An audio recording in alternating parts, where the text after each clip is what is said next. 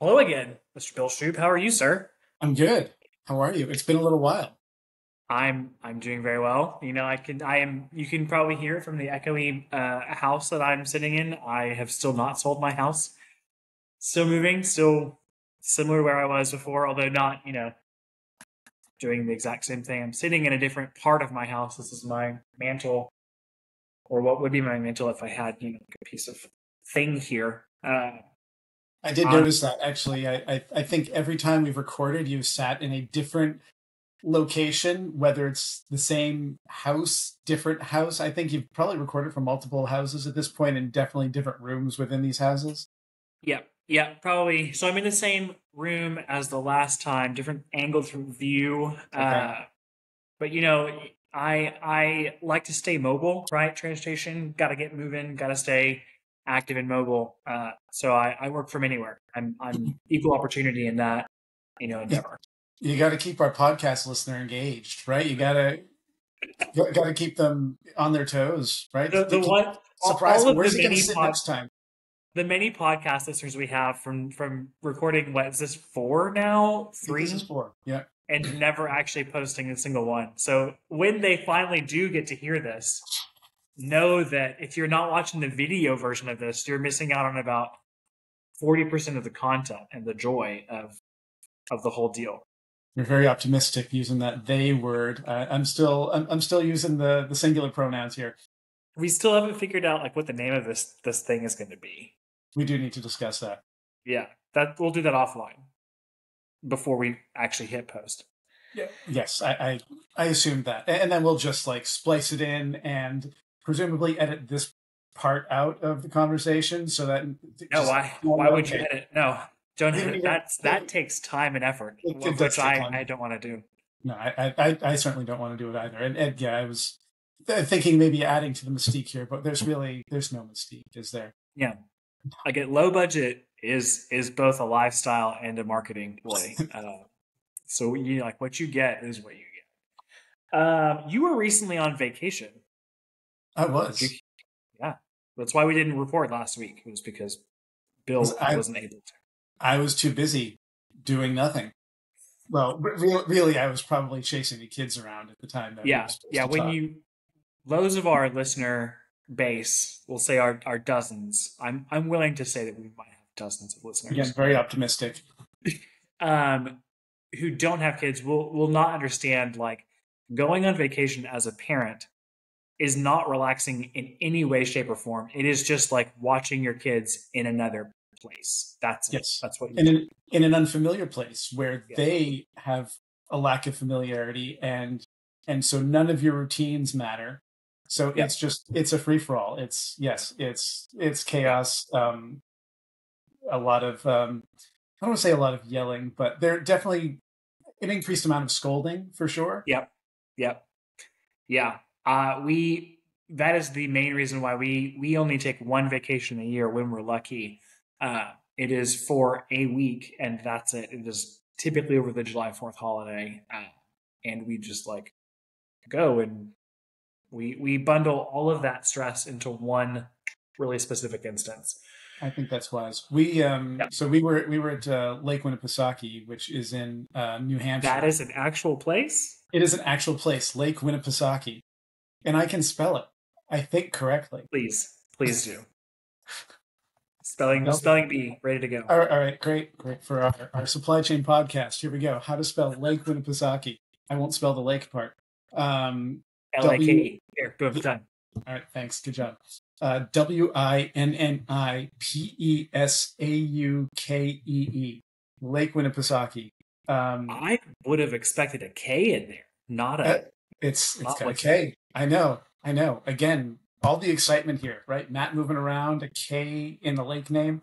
Um, you know, it, it relates to supply chain in that like physical location, geography is extremely important in moving things. Not everything has to relate to supply chain, Matt. This does, though. Okay, okay. so you're welcome. All right, fine, thank you.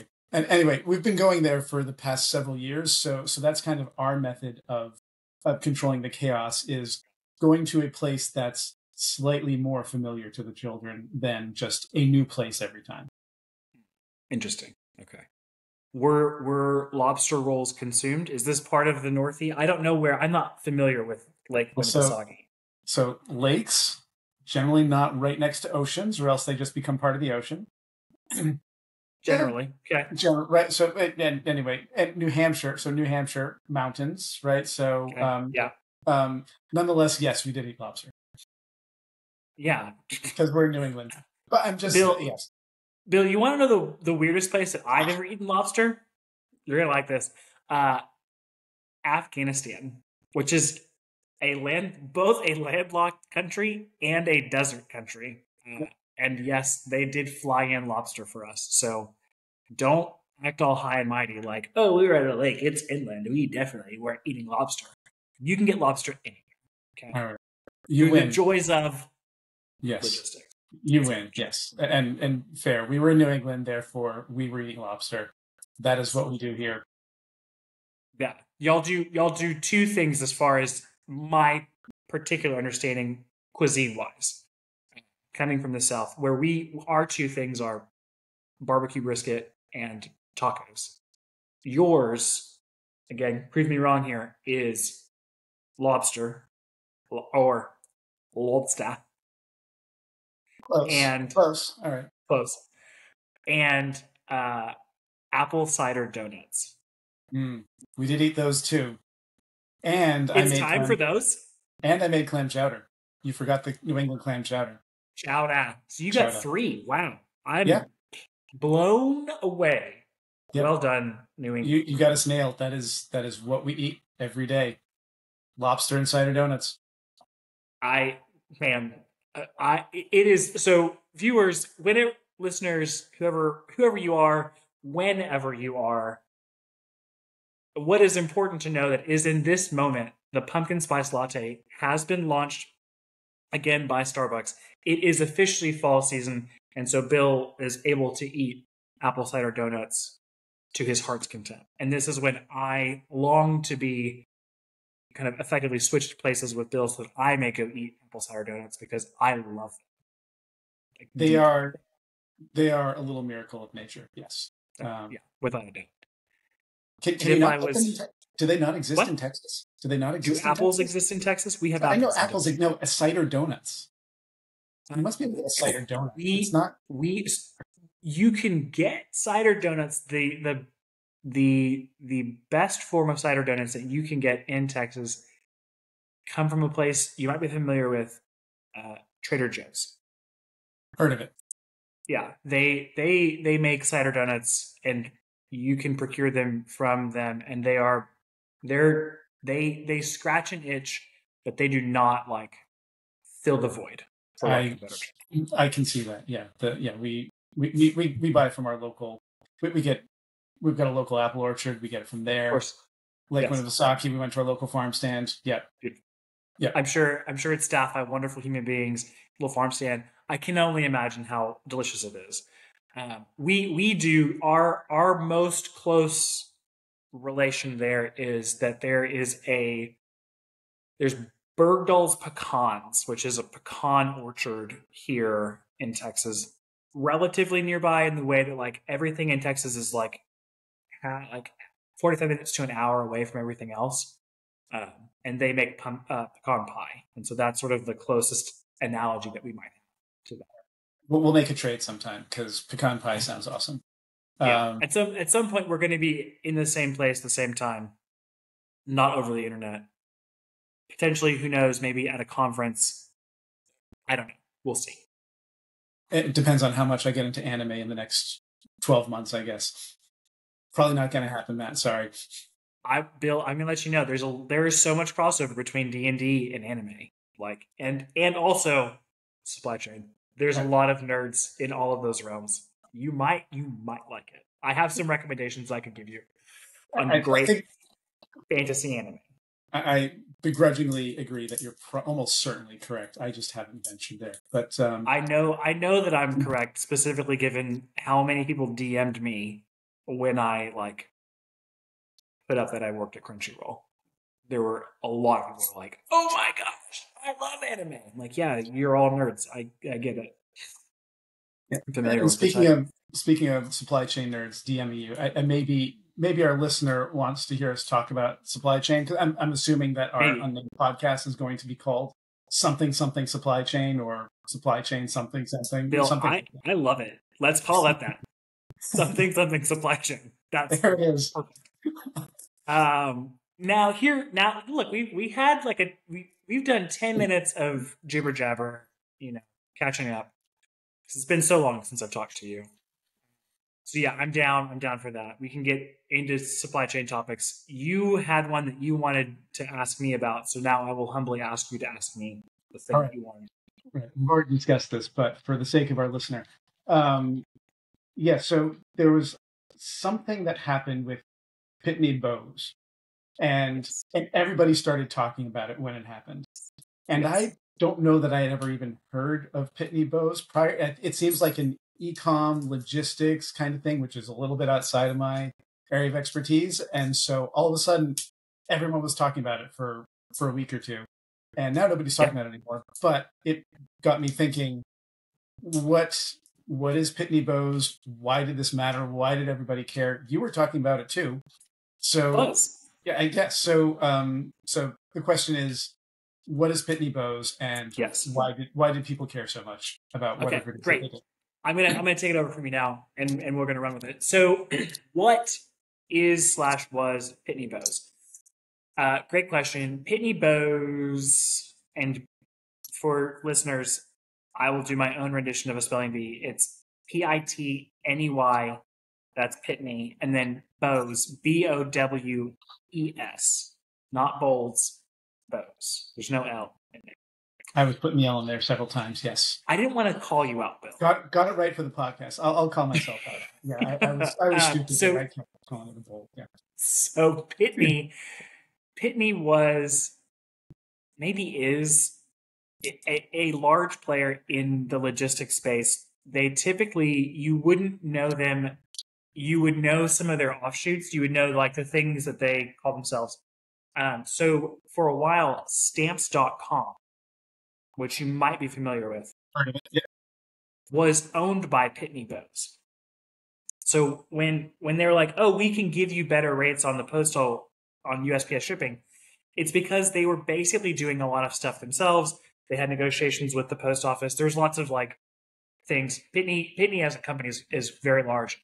There's a lot of things they're doing. One of the things that they uh, were doing that they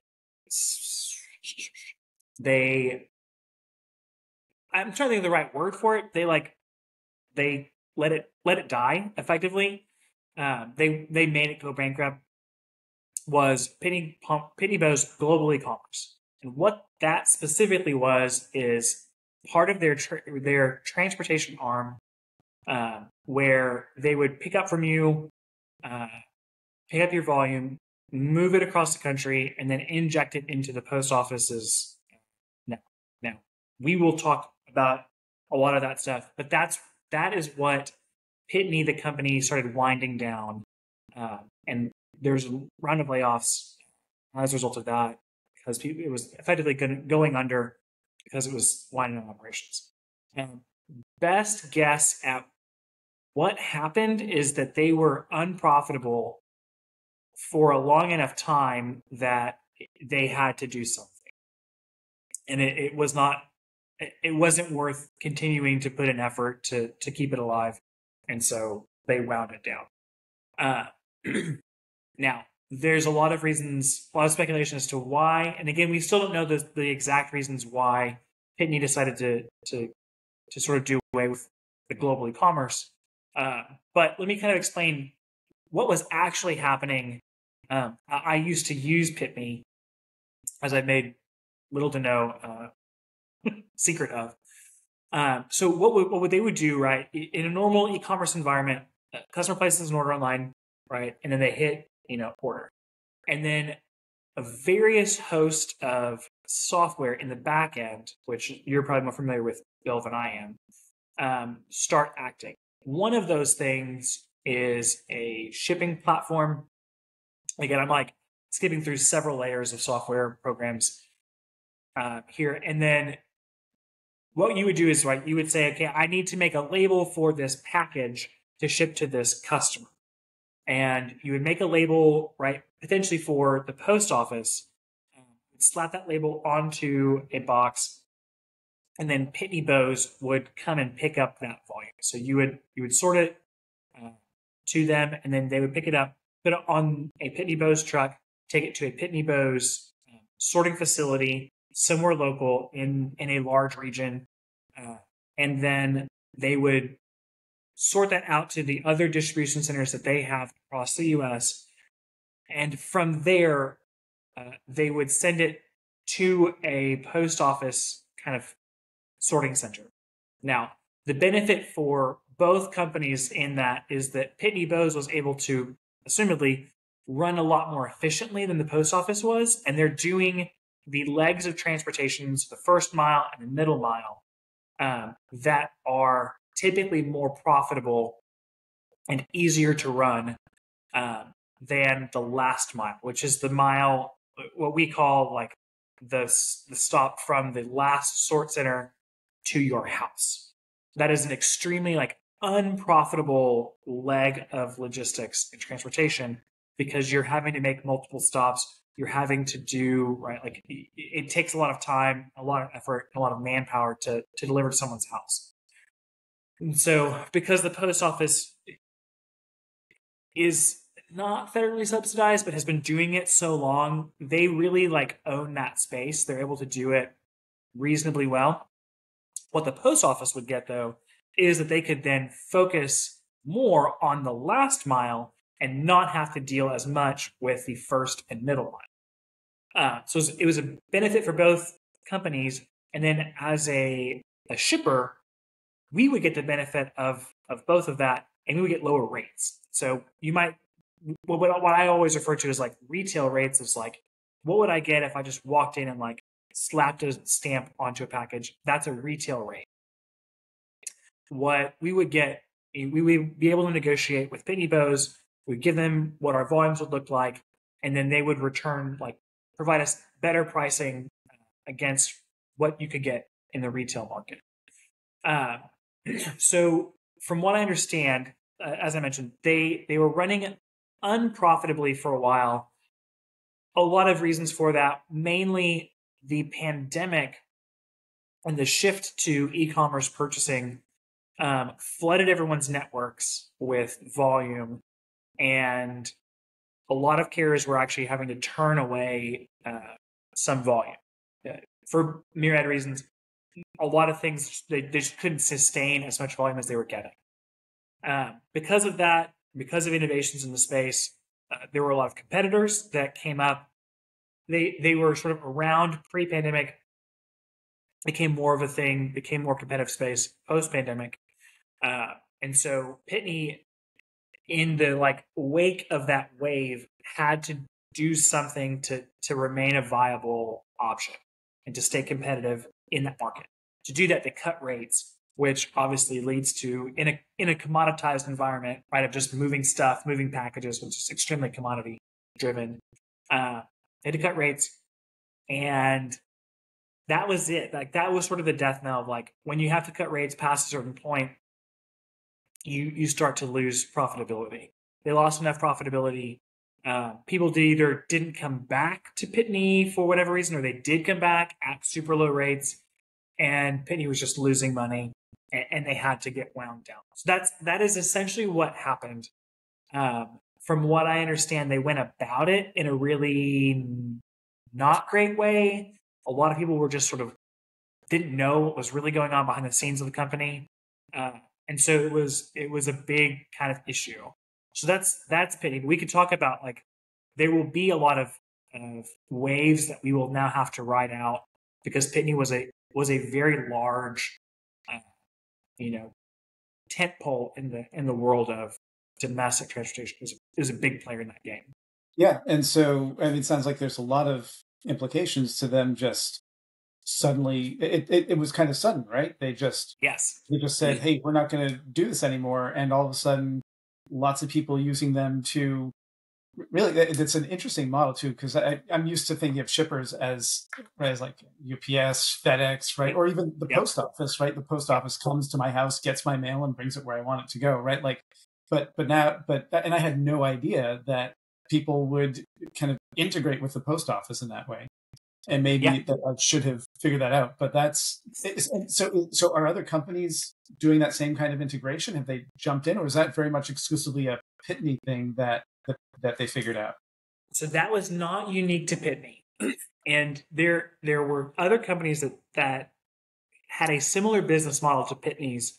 Um, I won't name them, um, but there are companies that did it.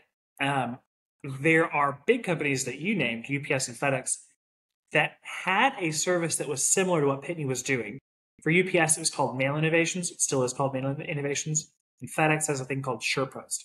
Again, both of those are uh, postal injection models. So again, like a FedEx truck, UPS truck is going to pick up volume, uh, and then at some point you'll get handed over to the post office to get delivered. Again, super low pricing. It's like 50% of the price of a normal FedEx package or UPS package um, with fewer fewer uh, surcharges that would apply to to that shipping.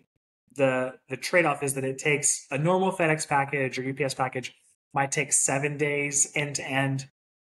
Typically, it's a lot faster than that, uh, but a similarly set package would take up to 14 days in those different environments. So it, it takes a lot longer to get your packages, but it's a lot cheaper. Again, it, there's a lot like the the world of logistics bill is is exceptionally complex, um, and and it is it is very interesting. So so yeah, like tip, like you said, normally uh, there are carriers that that specialize in parcel injection, which is a very specific like subset of e-commerce home delivery and there are carriers that do everything themselves. So we said UPS, FedEx, um, regional players. Uh, there's a company called LSO here in Texas uh, that's branching out into the kind of middle space here in the the middle southwest. Um, and then there's uh, the biggest player in the regional world is a place called OnTrac. Uh, they recently merged, uh, recently at post pandemic, merged with a company called Lasership. So OnTrac was in the West Coast. Lasership was on the East Coast in your world. Uh, they merged and now they're expanding into Chicago, into like Illinois and like Texas, because that's sort of where outside of the, the, the, the coasts, that's where the rest of the population really sits is in like Texas along the Gulf Coast and then in, in Illinois. Uh, so that's, that's all of those companies, they like soup to nuts move your packages internally to their little ecosystem. Uh, but there's other carriers that do the same, like Pitney Bowes type type style of, of delivery. Uh, so they're so, so they're doing they're maybe doing pickups or they're kind of moving stuff in between the pickup location and the drop off location. I, I keep just kind of asking myself like all these companies name OnTrac, I think I've heard of maybe a little yep. bit, but but the others like not at all and yet they're moving packages around that presumably at some point I've either shipped or received. And so I'm, I'm oh, trying yeah. to just piece together like why why have I never heard of these guys? It's because they're just in the middle, and I'm still just seeing the post office and UPS and FedEx. Bill, I bet I I would bet a good amount of money that your company is currently moving volume through them. I, I, I doubt. In, in, fact, that's probably that's probably where I heard the name OnTrac before. Yeah, uh, yeah. It, it, and it, it it really the rise of that competition was really because of the pandemic. Everyone kind of shifted, and there was a lot of kind of simmering competition in that market um, that needed to find a way to kind of. It just needed a spark to to really break out, and and boy howdy has it ever. So we're we're still sort of riding the wave of, of trying to find like what the right carrier mix is. Uh, as e-commerce volumes revert to the mean um, they haven't you know taken off but they haven't they haven't declined. They've just sort of like come back down to where they would normally have been. Uh, a lot of reasons for that but they uh, uh, there's been a lot of other competition in the market Uh, so yeah, that, that was more profitable. Uh, so yeah, it was it was a tough day, but yeah, Pitney Bowes moved something to the effect of 250 million packages per year, which is a lot of packages. It sounds like a lot. Yeah. Yeah. So and, and it so, like so has to go people, somewhere. So right. So and so it, it, has to go somewhere. So what are what are people doing now? How did they? Uh, that sounds given the way that they did this again, as it sound, sounds pretty abrupt. Yeah. What did people? What did I mean? And uh, might be something that you yourself had to deal with. Uh, Thankfully, no? Okay, good, good. But no. so what are? But I'm, I'm sure you've heard from others. Like, what are what do people have to do? Do they just have to scramble and find the nearest competitor to replace them? Which yeah. sounds kind of lousy. Uh, basically, yeah. So I've I've haven't I didn't have to deal with with this issue with Pitney. I don't use Pitney now. I have previously used them, and in a former life, I've had carriers that have gone under. Um, it, and it is always abrupt. It's always, you know, somewhat of a problem. In the world of logistics, we're typically used to having these types of issues. Um, and this these types of issues being like, oh, I can't use that carrier for that thing that I want them to do. I have to find another way to, to get packages delivered. So that like happens all the time, right? It, it, it could be as innocuous as oh, someone like pulled the fire alarm at this sorting hub or the fire marshal came and they said that we have too many cars in our parking lot. We can't, we cannot, we, we can't process as many packages as we want to out of this facility. Those are super common, effectively like run of the mill problems that we deal with.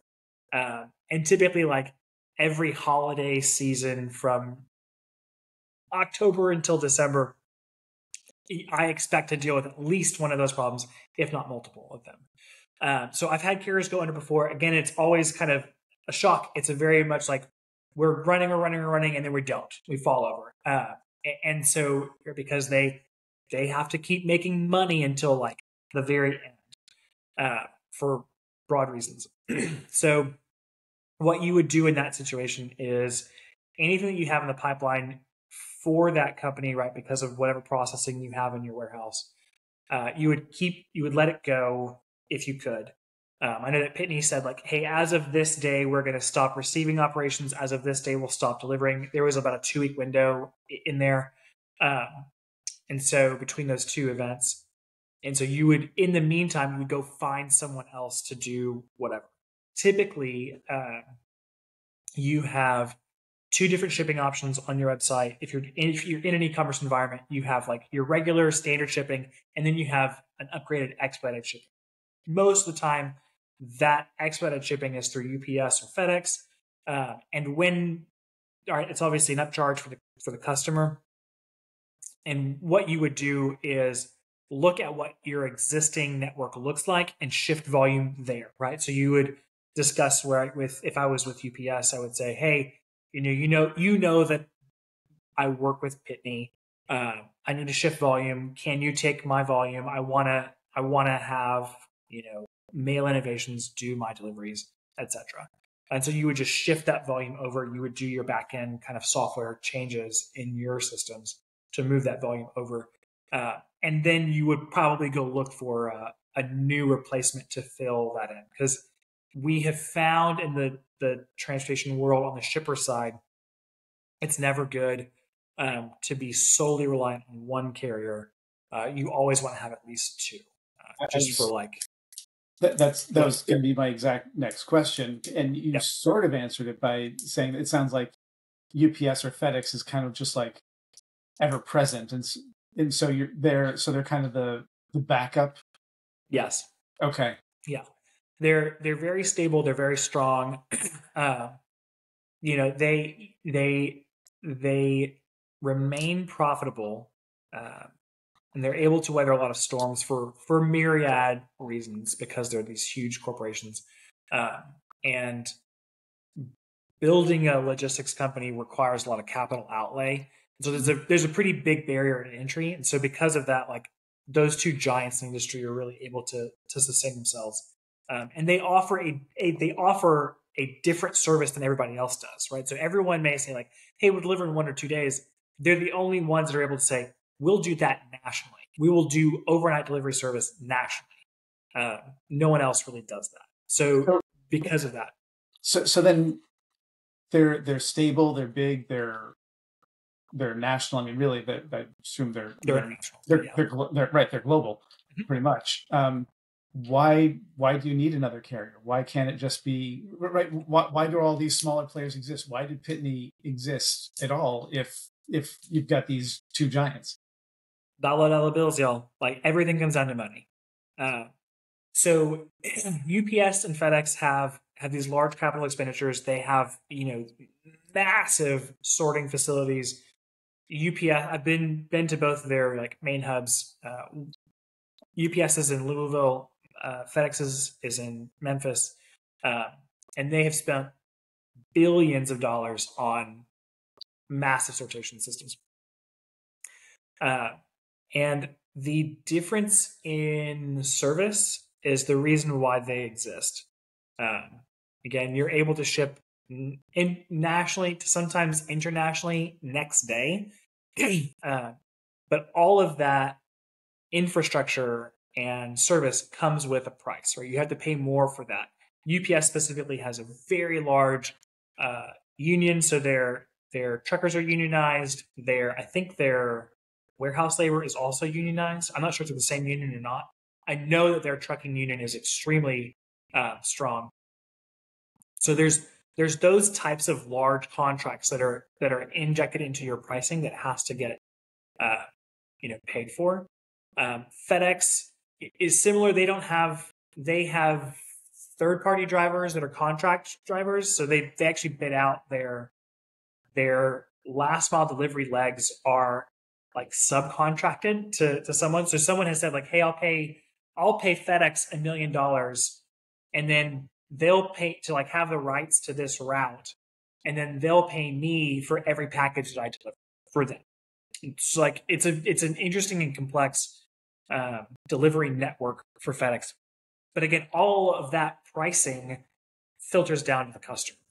Um, if you are using a different, like a regional carrier, you don't have as much infrastructure. They don't own planes, right? Like FedEx and UPS, they own a fleet of 747s and like huge aerobuses that they have to like keep and maintain. FedEx and UPS effectively own their own airports, uh, and they have like a lot of infrastructure. Regional carriers don't. Uh, I first time I ever walked into a regional carrier, like their sorting line was literally like a roller, like a sheet of rollers that they would like extend and they would sort off of a roller. Like that was it. And my, I had an intern at the time. She's like, "Wait, what? Like, this is how they do it? Like, it's cheap, it's efficient, like it gets the job done. Like, at some point, I don't care how the thing happens. I just care that it does happen. Uh, so, anyways, uh, that's the like different, and they're able to provide a different kind of pricing um, with hopefully similar service. The trade off is the regionals don't go out of their region. So if you want a national carrier, you have to go with one of the bigger guys. There's a lot to it. It's a, it is such a complex web um, with a lot of like very changing variables.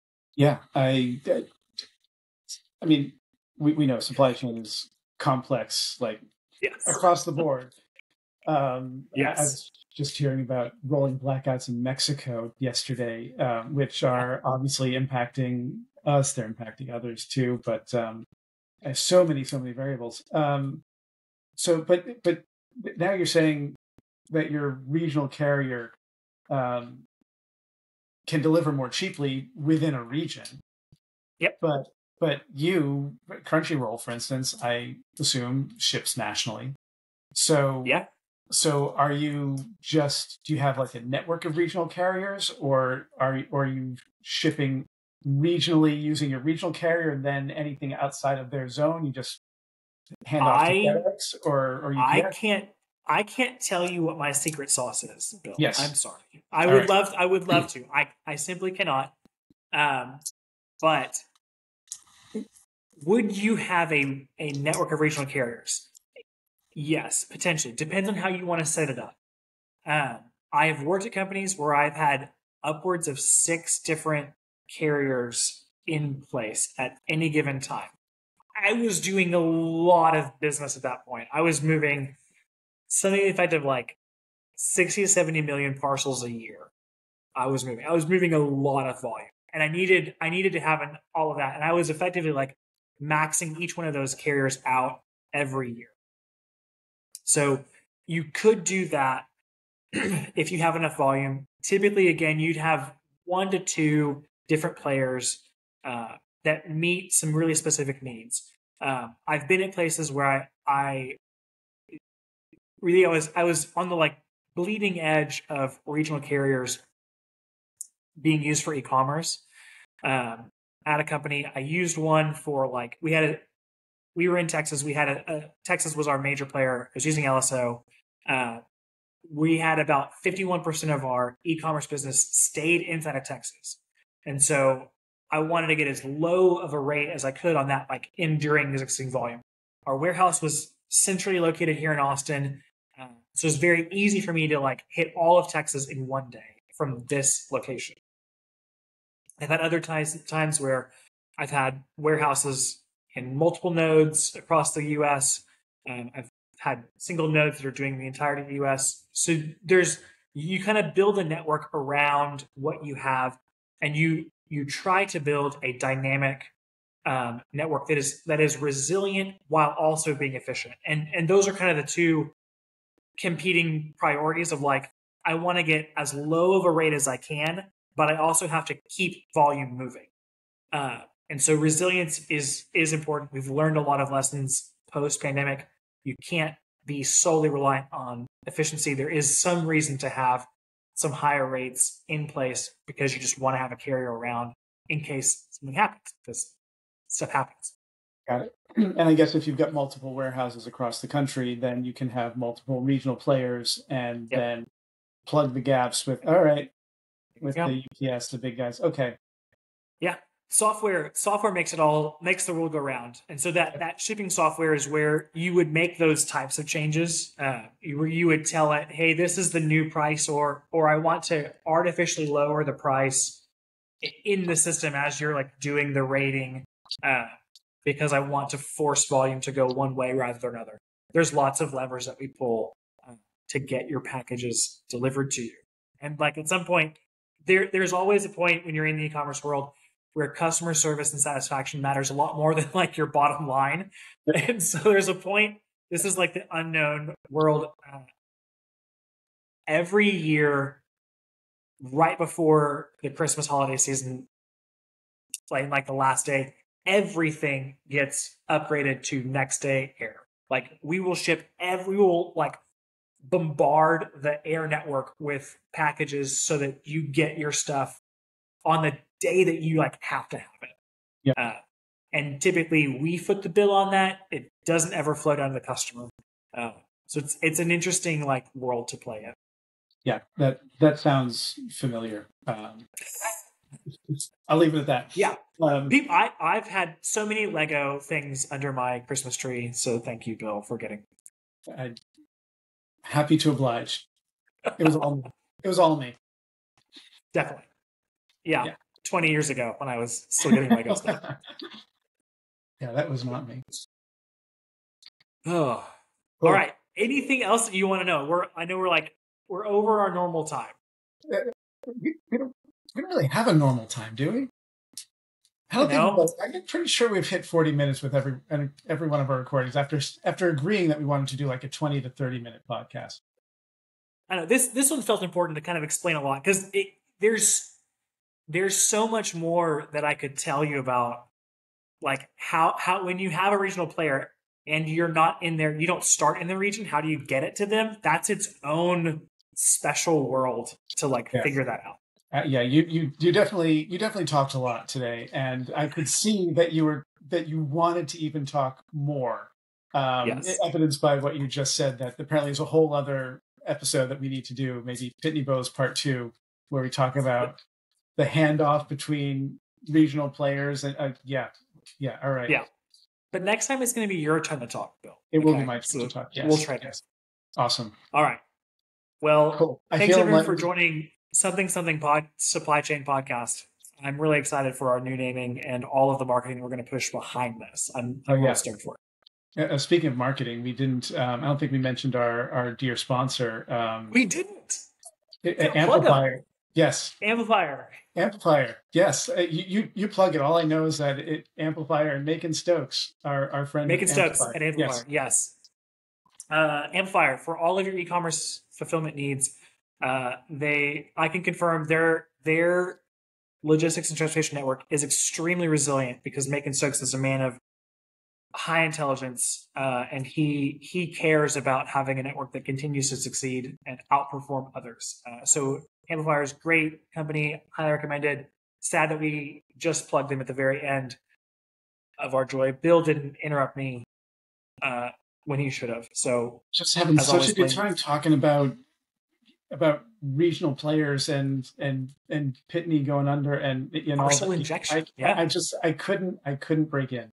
Literally, you would not give me a chance. You literally did not give me a chance to interrupt. All right. Thanks so much, Bill, and thanks to our dozens of subscribers and listeners. We appreciate you. And thank you, Amplifier. We appreciate you for all of your support. Thanks, Matt.